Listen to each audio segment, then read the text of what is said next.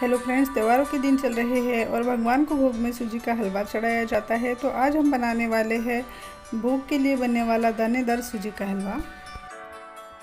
सबसे पहले घी में ड्राई फ्रूट्स को भून लेंगे।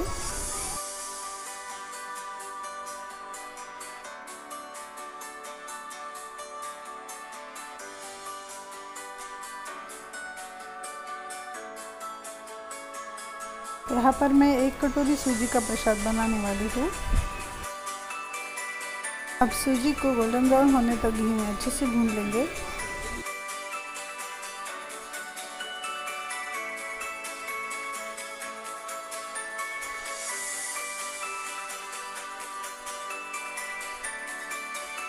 सूजी को लगातार चलाते हुए भुनना है, ये बिल्कुल भी जलने नहीं चाहिए।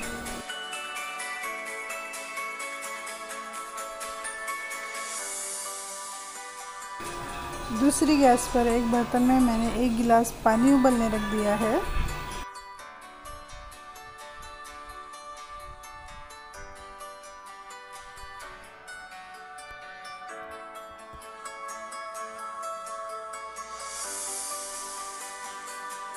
सूजी अच्छे से भून चुकी है।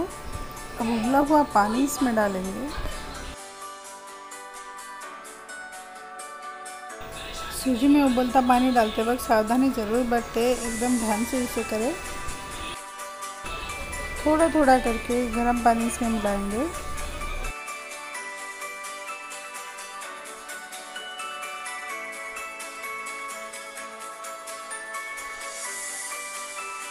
अब हलवे में चीनी मिलाएँगे। एक कटोरी सूजी के लिए मैंने आधा कटोरी चीनी का इस्तेमाल किया है।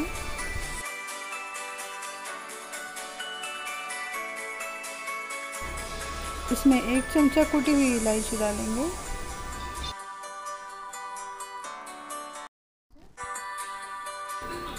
अब हलवे में थोड़ा घी और मिलाएँगे। मैंने एक टेबल स्पून घी लिया है।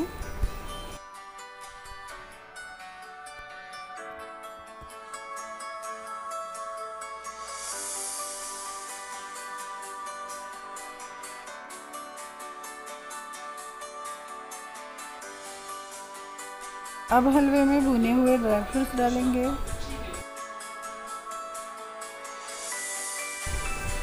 ड्राई फ्रूट्स को हलवे में अच्छे से मिला लेंगे।